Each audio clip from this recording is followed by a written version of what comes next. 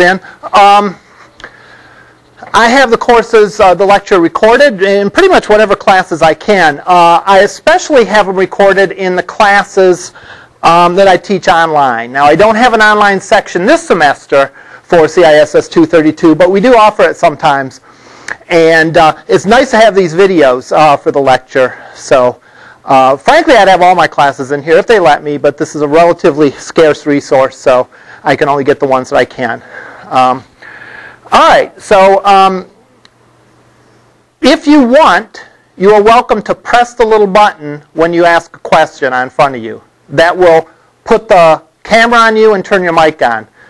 No one has ever on purpose pressed that button. So far, the only people who have ever pressed that button have been people that have been moving their book around or, or gee, I wonder what this does you know, is this the mute button where I can turn them off or whatever, all right? Uh, so I don't necessarily expect you to. Um, what I will do, what I'll try to do, and if you want to, you can even feel free to remind me, is repeat the question back. That way, someone watching the, the video will, will hear the question and hear the response. Um, I also, um, what do I want to say uh, about that? The advantage is here that if you do need to miss, you know, a class for whatever reason, you know, you're not feeling well, you're going out of town for some reason or another, or any reason, then you can wa- uh, watch the recording. And uh, I am experimenting with something a little bit different this term. I'm actually posting them to YouTube as opposed to the campus server. The hope being that that, that makes it more accessible so you can watch me on your cell phone or watch me uh, you know, on any device that supports YouTube. So we'll see how that goes. Um, but at any rate, that's it as far as recording goes. What I'd like to do is run through attendance real quick. Um, recognize a lot of people here, but not everyone. It's possible that the folks I do not recognize are folks I've had on an online class before. That happens a lot. I finally get to associate um, a name and a face. So let me log on to Angel and we'll take attendance real quick.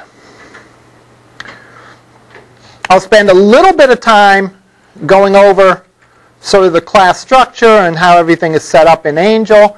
And then we'll, we'll kind of start with an overview of the main technologies that we're going to cover in this class.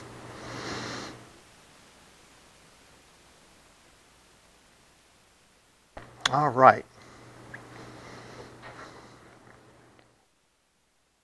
It's the other thing this morning. I took attendance and didn't hit the save button, so that was not recorded. Um, Al Baker is here. Carol is here, right? Dennis Crawford is here. Oops. Christopher Hammond. James Huber. Don Jenkins. David Karpinski. David Klima, Klima. Uh, Matthew Ream.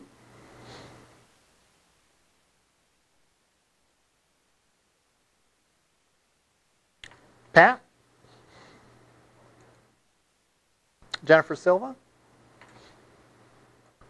Daniel Tolis. Tolis.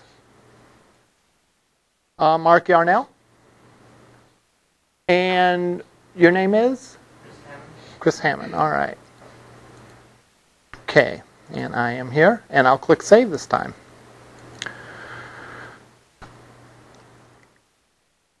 Is there anyone in class that is not familiar with Angel, the, the course management tool? All right. Um, you can ask specific questions in lab if there's something that you want to know that we haven't covered, uh, but I'll assume that you know how to log on and, and that sort of thing. Um, if you've had me in a class before, the layout of these classes are, are very similar, so um, I hope you, you won't have too much trouble navigating around. Most of the action takes place on the Content tab. All right. There also is the Communicate tab where you can go in and send me email or send uh, email to other people in the class, but really most of the stuff is on the Content tab. Syllabus um, oh, we'll do sort of a, a, quick run through first, and then we'll, we'll, we'll, drill down and look at some of these in more, more detail.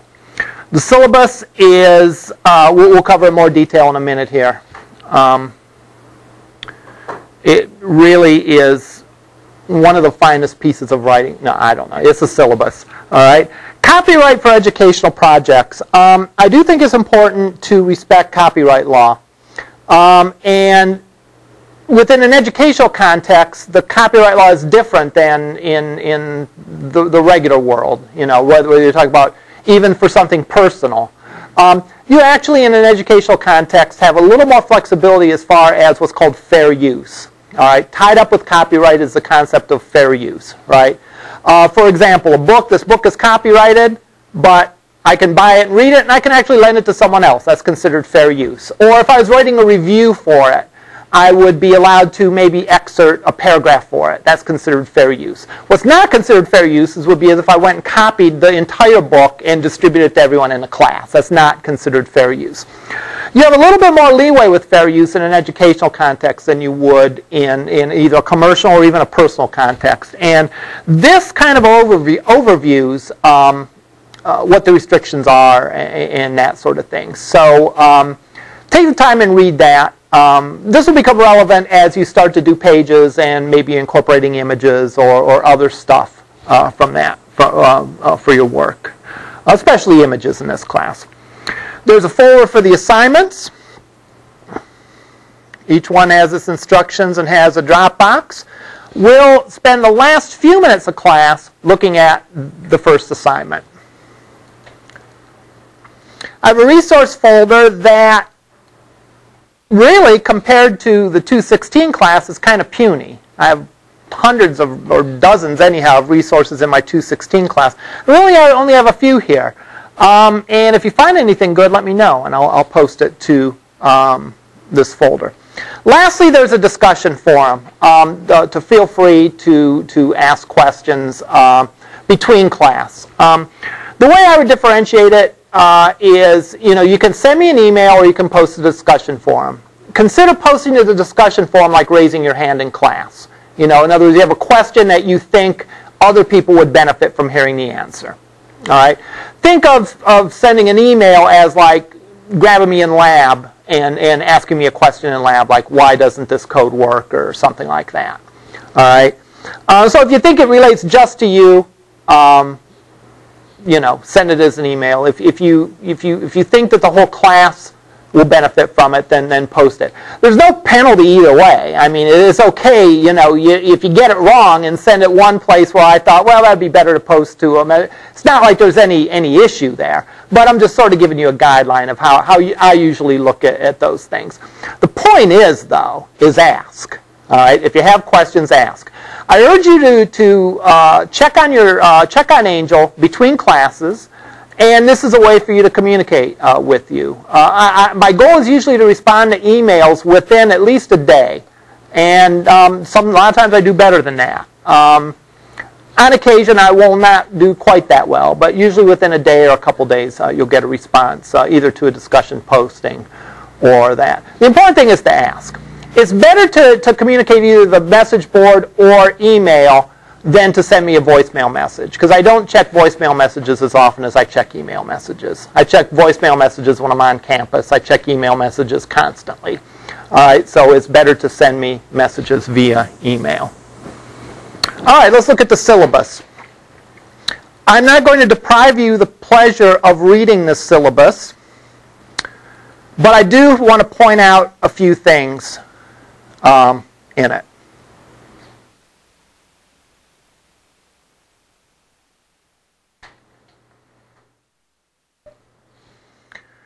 Standard stuff, a list of ways to get a hold of me. Either email through Angel or this email uh, will work. Really doesn't matter one way or another. Here are my office hours. Um, if those office hours don't work for you, you have a couple of alternatives. One is you're welcome to sit in on any other lab that I teach the class for. All right, you're welcome to sit in on their lab session and ask me questions.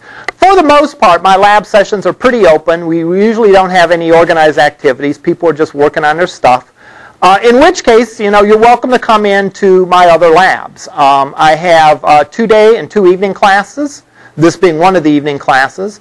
I also have a Tuesday and Thursday one um, that goes from, uh, the lab goes from 9 to 10 p.m., so it's kind of late. My day labs are, let's see, Monday and Wednesday, 10 to 11, and Tuesday and Thursday, about 11.30 to 1 or so. All right. So I've been doing that the past few semesters. Uh, I started largely for my online students, but I, I think campus students benefit from that as well. The point is, is if you need to see me or talk to me about it, there's a lot of ways to get a hold of me and, and pick the one that works for you. All right, talk to me in lab, see me during office hours, come to another lab, or we can exchange via email. A lot of issues can be handled via email, and again, I do check between classes. But again, some issues it's best to talk face to face about, you know. And that's one thing that, that I hope to use uh, in the lab this time is to, um, you know, check and see what you're doing and, and sort of give you uh, um, some advice uh, in, in, the lab. Maybe be a little more proactive about that if I notice you're having trouble about that. Office hours are effective actually week two. All right. Uh, so they're not really in effect this week. I kind of like that. I use that as my way of easing into the semester. All right. I know a lot of other folks start, start with their office hours right the first day. You know, I don't want to shock my system too much, so I kind of very gradually, I, I teach my classes, I go home and nap, and then I come back and teach my next class. All right? I'll continue to do that the rest of the semester, except there'll be office hours between uh, before the nap. All right. These are all, this is a formal description of what we're, we're studying in this class, and um, this ought to go beyond just nice, pleasant words, you know, stuff that we put in the catalog. This really, um, these things are the, the, the, reason that we're here. This is what we want uh, you to get out of this class. So do read through those and make sure that you understand what we're talking about, how it applies to these things. You know, it's not always easy to tell that. You know, as, as we're going around and we're looking at certain things, it's not always easy to tell um, what we're talking about, how it relates to our end goals. Um, and if it's not clear, um, then you should ask me, you know, what does this have to do with anything? You know, and maybe it doesn't. Maybe I'm just, you know, I, I just woke up from my nap and I'm talking nonsense for the first 15 minutes of class. It'll be a good way to sort of shock me into reality, all right, and get me back uh, on task. So you're welcome to ask me, you know, what does that have to do with anything if what I'm talking about isn't clear? The text that we're using, um, the storage media, uh, again, anyone that's worked in the labs here realizes that you have to take a copy of your stuff with you, so having a thumb drive or emailing it to yourself or something along those lines is necessary. Instructor approach, uh, you know, I suppose this is the gist of it. The rest of it's elaboration, all right? This is your class. Uh, me and another instructor would always joke, you know, did you cover such and such topic? And he'd joke and say, well, yeah, I covered it. You know, whether the students got it or not, I have no idea, right? Uh, it shouldn't be that way, you know, and, and we said that jokingly. This is your class. My job is to make sure that, that the material that we go over you understand. It doesn't do anyone good, uh, any good if I can check something off the list and say, yeah, we covered it, we talked about it. Well, if half the class has no clue what I'm talking about, then that really doesn't matter. I really no good was accomplished. So therefore, ask questions.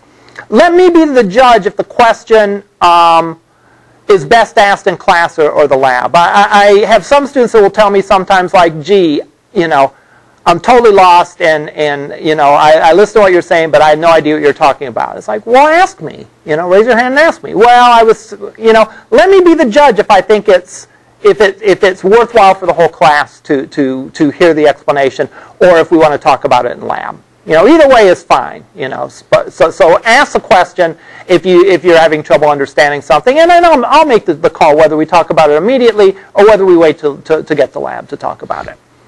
There's a good chance. A, a great teacher cliche is that for every student that uh, you know has a question or asks a question, there's there's other students that also don't understand the material and could ask the same question. So, you know, we have a relatively small class here. Uh, if even two or three people don't understand something, that's a significant percentage of the people. And for the people that do understand it, it might do them good to review it. So don't be shy at all about asking questions.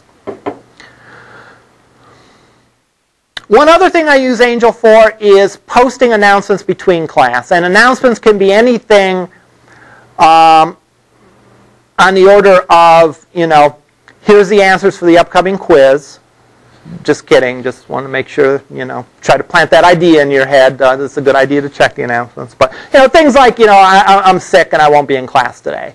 Or what happens sometimes is a student will ask me a question or I'll run into a problem during lecture that I get stuck on.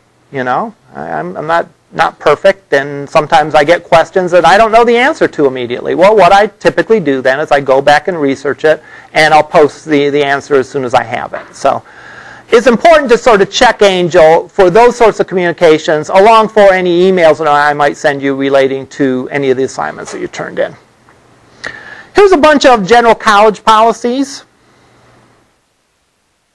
My lay policy is very flexible, but I, I do want to make sure that we stay on task. Um, if a student is late once in a while on an exception basis, they're sick and they weren't able to get something in on time or they had to go out of town and, and therefore they weren't able to work on something, that's fine. What I'm concerned about is with the students that are continually late and again, not for the effect it has on me, but the issues that it has on them, right? If you're getting the assignments done on time, that's a good indicator that, that you're making appropriate amount of progress. All right, and you should be pretty comfortable. Yeah, you're in pretty good shape if you're getting the assignments done and getting them done on time. Again, an exception that is explained through the external circumstances once in a while, that's no big deal. But if you're finding yourself continually being late with assignments and not being able to get things done, then that's a sign that you probably uh, need to talk to me in more detail. All right, and when we need to figure out what we can do to, to, to help you out and get you moving. The bottom line is, is I reserve the right to deduct points, but I also reserve the right if I've been working with you and I'm aware that you're having difficulty and we're attempting to resolve it, um, I also reserve the right not to deduct points. So I let that be at my discretion. Um, if there is some personal circumstances that's keeping you from getting assignment in time, you don't need to tell me details. Just tell me, you know, hey, something's up. You know, the assignment will be in Thursday instead of Tuesday or whatever, and that's fine. You don't have to go into details or, or you know, talk about anything that's per, of a personal nature. All right.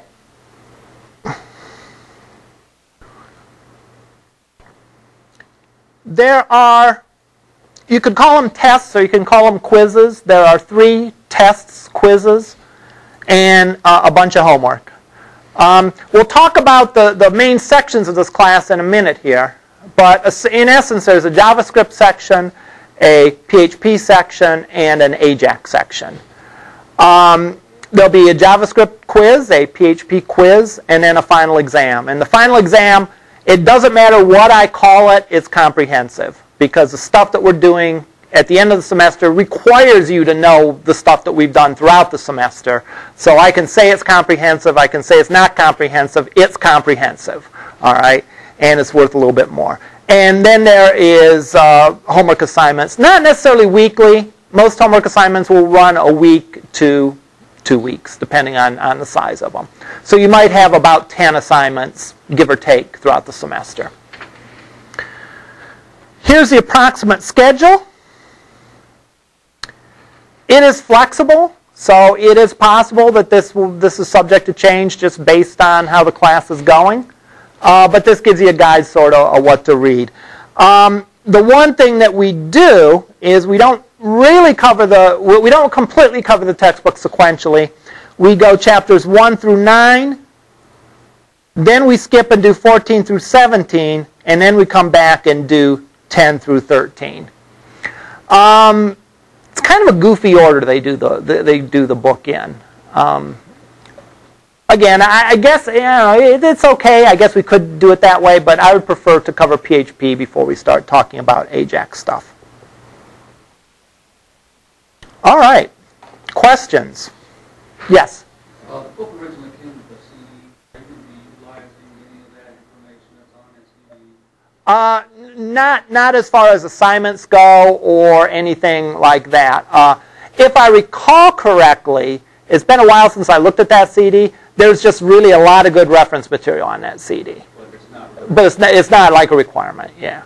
So, uh, more to the point, if you find a copy of the book used and it doesn't have the CD, it's probably not an issue. Well, the, uh, the book's available Online also. Okay, all right. That's a good point. How many of you are aware of Safari Books Online? All right. What it is, is there's actually a database. If you go to LC's library, and I'll say this not just for this textbook, but for, for any technical books. If you are on campus, you can access this freely. If you're off campus, I think you have to log in with your um, library card number. Not your student number, your library card number. Um, let's see. If you go under Research Databases and look under S, first one on the list, Safari Books Online, what you get is you get really full text of books on a variety of topics. So, you know, let's just pick one, web development.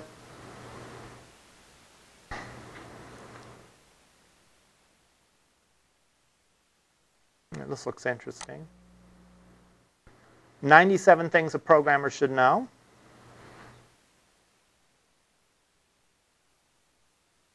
And this is full text of the of the book. So this isn't just a summary or whatever. This is a, a, service that we subscribe to here at LC, and our students are allowed to read it. And this is good if if nothing else um, to allow you to preview books.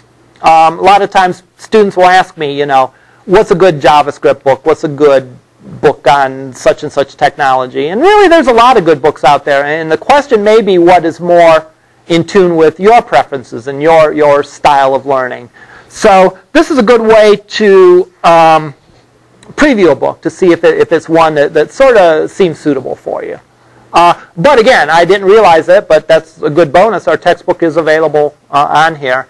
Uh, the problem is, again, is, is this isn't really uh, a neat um, electronic book reader, you know, or anything. So uh, the interface is probably a little clunky, but again, you can, you can access inform, uh, information from this and other books.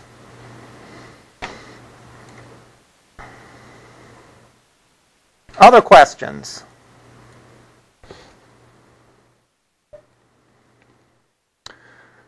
All right.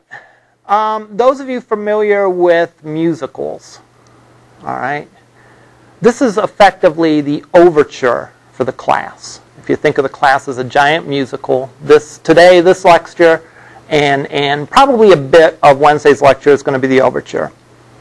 That means I'm actually going to sing the rest of the lecture. So, no, just kidding. What it means, it was an overture. When you go to a, a musical or whatever, what, what do they do in the overture? They play little snippets of the different themes of the main songs that, that, that they're going to play. And it sort of gives you an idea of, of what the music is going to be like and sort of an overview. And, and that's really what, what the rest of today's class is going to be. Um, we'll take, uh, there's about 25 minutes left in class. We'll probably take 20 minutes or so of the overture. Um, and the last five minutes we'll look at, at your first lab assignment. All right. Um, I assume all of you have had CISS 216, which is the Intro to Web Development. Is that correct? Is there anyone who has not had that? Okay, you haven't, but you got the prereq waived, right? Yes. Okay, so we, we talked about it, right? So you are from, all right, that's true. Um, okay, so either you, ha you have some basic knowledge of, of web development. Um, the simplest model for a web page, the interaction between the client and the server, the simplest model is something like this.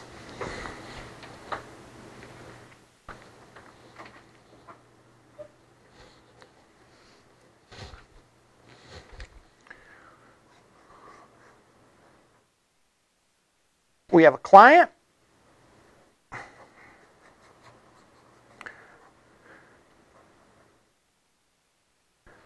This diagram is going to be burned on your eyes before the end of the class, all right, or variations of this, because I talk about this diagram a lot of different classes.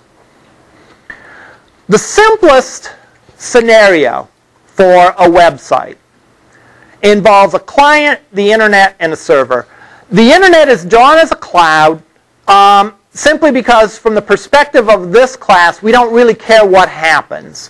When I make my request for a web page by going to my web browser and typing in cnn.com, somehow that request makes it to CNN's web server. We don't care how that happens in this class, you know. If you take networking classes, they probably care about how that happens. But for this class, we don't really care how that happens. We make the request, and somehow it ends up in the right place, and the server responds, and somehow their response makes it back to us, to the right place. When I talk about the client in this diagram, what am I talking about? What is a client in this context? Requester of Yeah. information. Right, a requester of information. Really, that's the best definition of a client, period, is a client is an entity in a computer system that makes requests. A server then does what? A server responds to requests. Now, in this context, we're talking about web pages. So the client is the entity that is asking for web pages. The server is the entity that is responding to these requests and supplying those web pages. What, the, what is, what is a, an example of a client in, in sort of a web context? What's the client look like? What name does the client go by? Pardon me? They're a user. They're a person. They're a person running what kind of software? A web browser. Okay? So typically, the standard, in the standard model here, this is someone sitting connected to the internet running a web browser. Now we know that that definition sort of has expanded over time, right? That now includes people that are using their phones to browse the internet, or people using their PS3 or their Nintendo DS or whatever, all right? Or their iPad or whatever. But the client is someone who's running a web browser that's making requests through the internet to a web server. And the web server is the system that's responding to those requests. Now, in the CISS 216 class, in the Intro to Web Development, we talked about static web pages. All right? And, and static means unchanging. In the case of web pages, it means that it doesn't change unless someone manually goes in and changes it. All right? Some of you I see here had CISS 16 uh, from me in, uh, in the summer. All right? Some of you had it, you know, last spring and maybe even prior to that. If you go back, if you still have those homeworks and you pulled up your first assignment for that class, it's going to look exactly like the day that you submitted it. All right, it's a static page. It doesn't change unless you go in and manually make the change. Now, the web server's job in a static environment is to simply find the HTML and other files and send them to the client.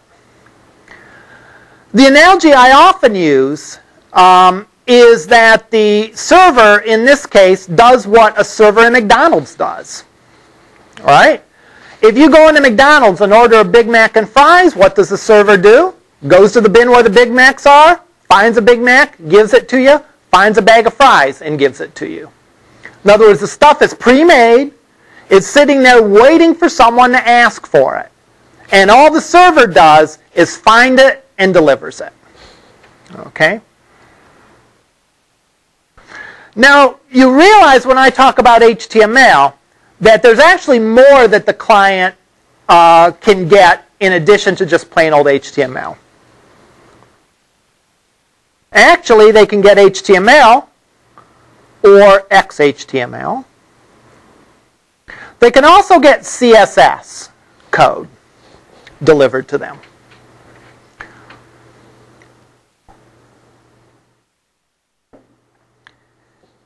The third thing that they can get delivered to them is JavaScript.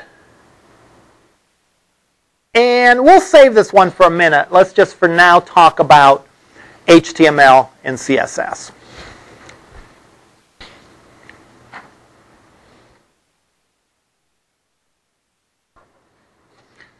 HTML provides the content for the page, the logical structure for the page.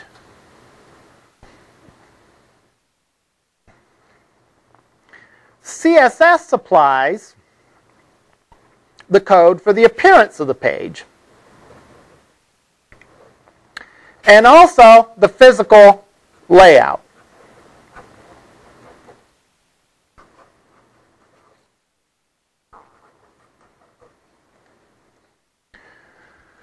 To the degree that we can keep those two things separate, our website will be way more flexible. All right? We gain tons of flexibility by keeping those two things very separate. By having our code separated and have the HTML contain the content and logical structure and the CSS contain the appearance. Why do I say that? What do I mean by keeping those two things separate and what sort of flexibility do you get? Anyone care to, to comment on that? Yes. Um, if you use CS, CSS to uh, control the appearance, it will enable you to make less changes. You can just change a file, or maybe a couple of files, and Okay. Yeah, Very good. One of the, the, the easiest, um, easiest, easiest to see advantages is that if you use CSS to control the appearance of your site, you can have all your code relating to the appearance in a single file. All right?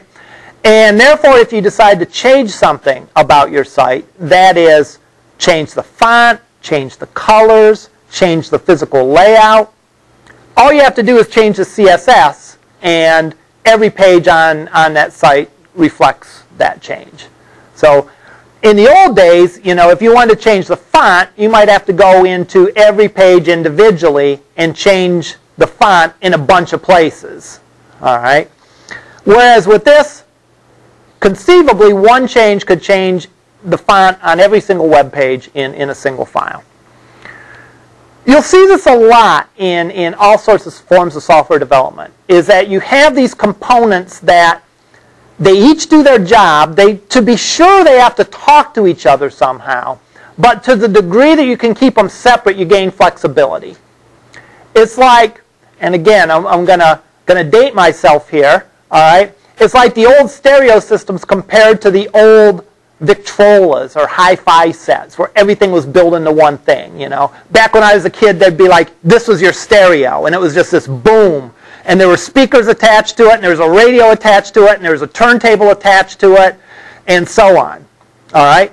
Guess what? If one thing went bad, what'd you do? Pitch the whole thing and buy a new one. Right. Um, if you like the way that the turn, if the turntable worked fine, but you wanted better speakers, you're out of luck because everything was just one sort of unit. All right. Compare that to the modularization that you'll see now, where you have separate speakers, separate. Not, not that too many people have turntables, but maybe a CD player, an MP3 player, or whatever. If I go and I change from um, one MP3 player to another, do I have to get a whole new set of stereo equipment? No, I can just plug the old one into the new speakers and, and everything will work okay. All right? That's the idea with this, keeping things as components. That gives you a lot more flexibility of how things go. All right? So, here is the scenario in static web pages. The server asks, oh, I'm sorry, the client asks for something and the server responds to it by finding the files that are relevant and delivering them to the client.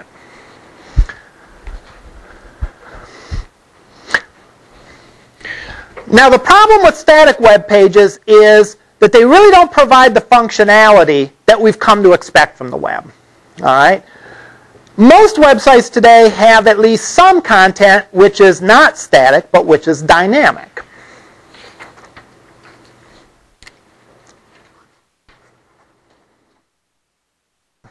Static means not changing, at least not without human intervention. Dynamic means that it's changing. Let me give you a, a for instance, something that a couple of sites that we're all familiar with. If we go to Angel, if I go and I click on the link for Angel and I go to it, here I am, I'm typing in, I'm, I'm the client, and I'm making my request to the server.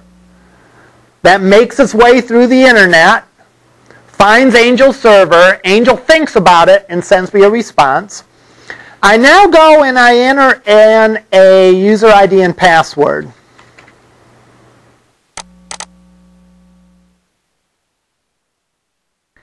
And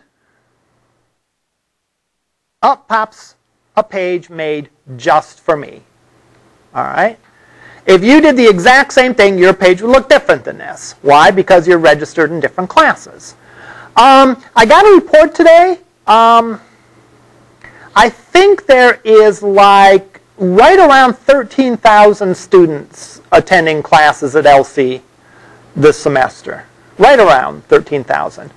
Does that mean that someone over in distance learning went and made 13,000 HTML pages, one for each student, keeping track of what courses they have and all that? That's ridiculous. It's far-fetched. Uh, something like that would not be workable. Um, another example, you know, my favorite website, Google. I type in PHP and I get search results for PHP. I type in JavaScript and I get the results for that.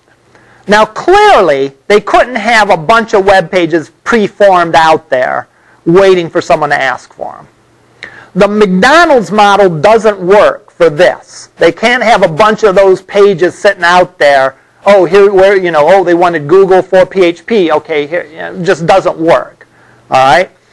Amazon, eBay, any of these systems that offer greater functionality typically are going to be dynamic pages. What does that mean? That means that the server has a harder job. All right? The server isn't like at McDonald's where their only job is to find what you ask for and give it to you. The server's job is to actually make it on the fly.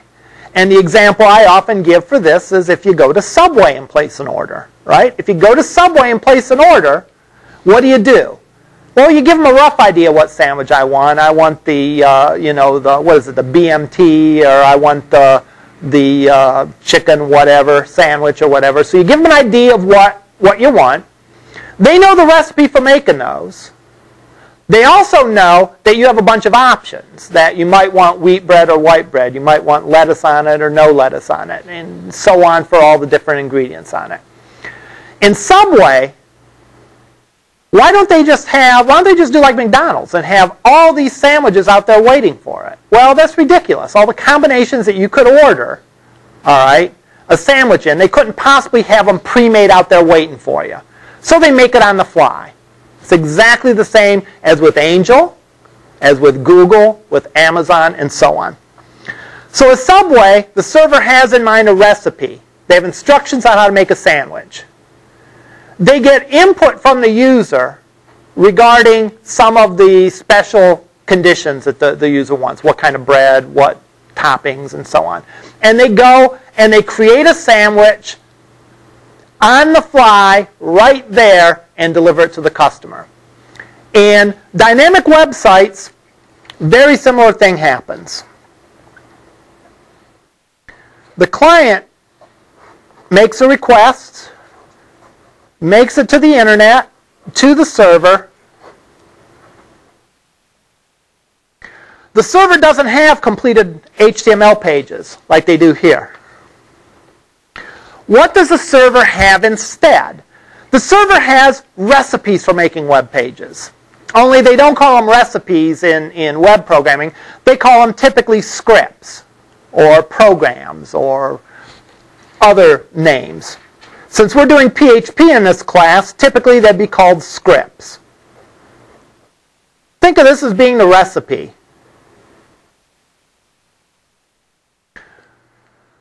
were um, were Angel done in PHP, which I don't think it is. I think it's an ASP um, product. But were Angel being done in PHP, then there'd be a script to say how to construct a person's homepage.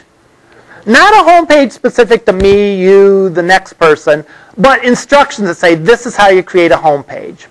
Well, where does it get the rest of the data to fill in that homepage? Well, it gets it based on user input. In other words, when I logged on to Angel, I specified my user ID and password, so it knows who I am. And it often will get some information from databases.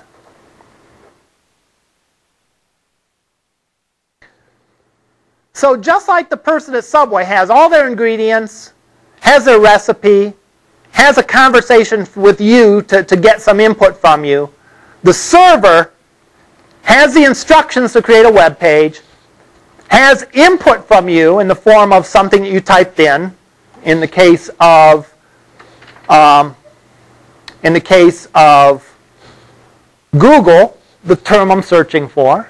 In the case of Angel, your username and password. And there's likely to be database storage involved, where a list of the classes that you are currently enrolled in comes back from the database based on the user ID and password you supplied.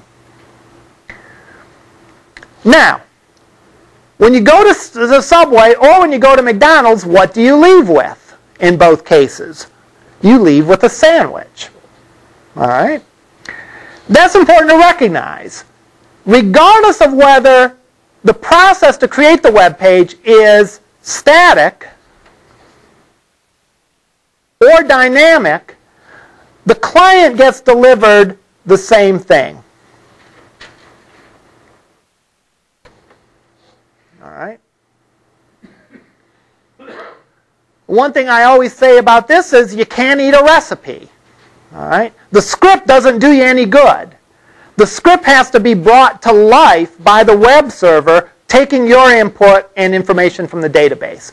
And that will produce a web page for you. All right? So if I go and I did, just did a Google search for JavaScript, if I were to right mouse and say view source,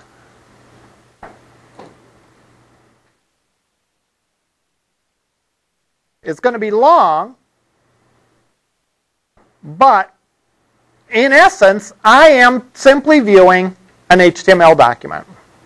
Here's a link. All right? That HTML document wasn't pre-prepared and waiting for me. It was created on the fly by Google's web server by looking at what I asked for and looking in their database. Likewise, if I look at Angel.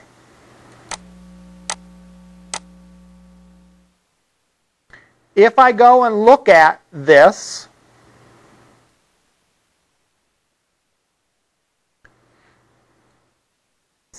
still HTML.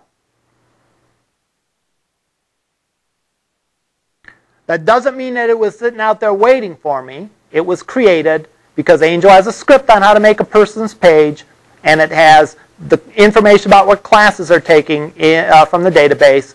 And lastly, it has um, the user input. One of the more dramatic ways to, to look at this is if you look at Amazon, if you look at, um, wow, that's a first.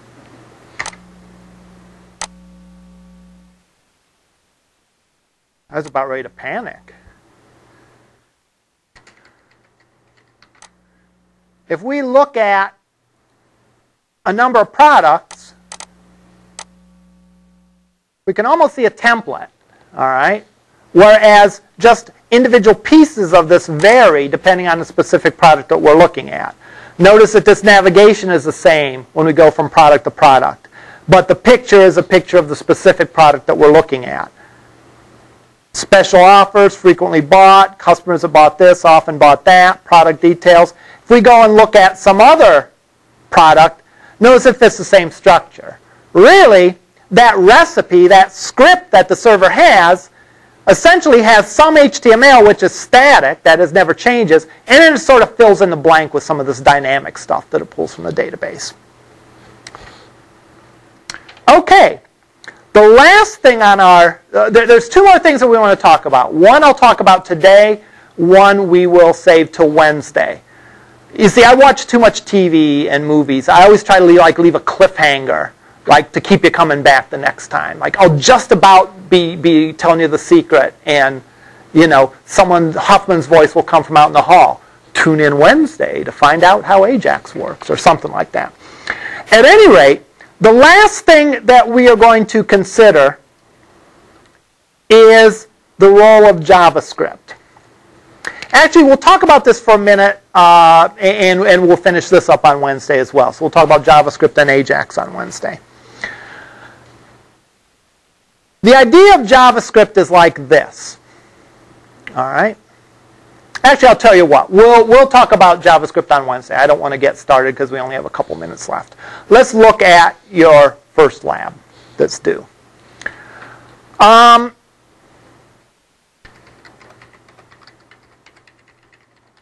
one of the great things about working in web development is that if you're working in, in a web environment, chances are you're connected to the internet. And if you're connected to the internet, chances are there are, um, whatever topic you're working on, there's a lot of resources available for it.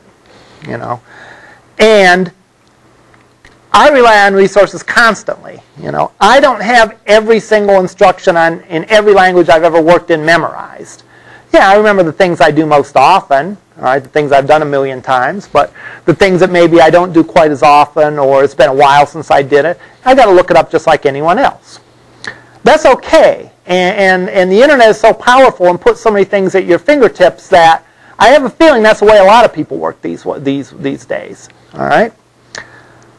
Your first assignment is to find resources about the three main topics uh, in this class.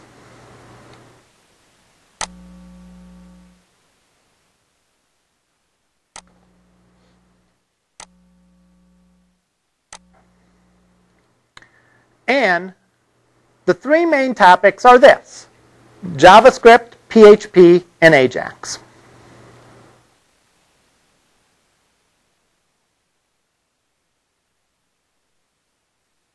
All right.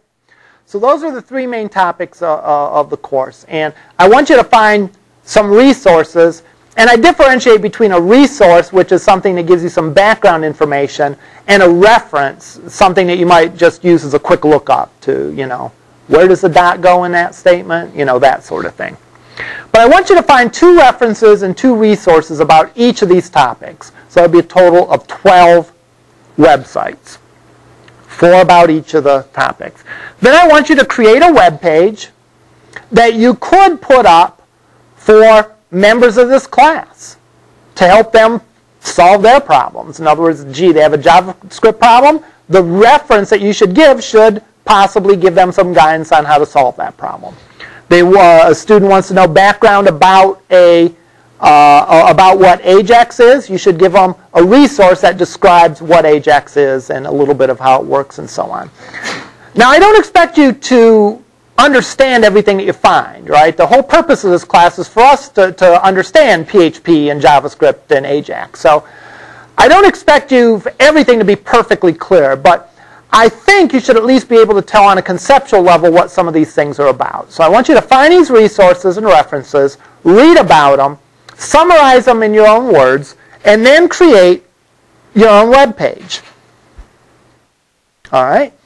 I want you to show off your HTML and CSS skills in this. So make the web page look good. All right. Consider your audience, the other people in, in this class. Make the page look good. Follow good guidelines as far as creating HTML and CSS code. All right. And create a page that, that is well designed. All right. I give similar assignments to this in almost all my classes because one thing it reinforces, it gives me an opportunity to talk about the use of resources, which, which can't be underestimated. All right? And it also gives a nice, easy way to sort of ease into some of these topics and at least get you sort of an overview of them uh, before we dive into them. Now, on Wednesday, I'm going to talk about JavaScript in more detail, and we'll talk about Ajax, and then the overture will be over, and we'll start Act 1. All right, we'll see you over in lab.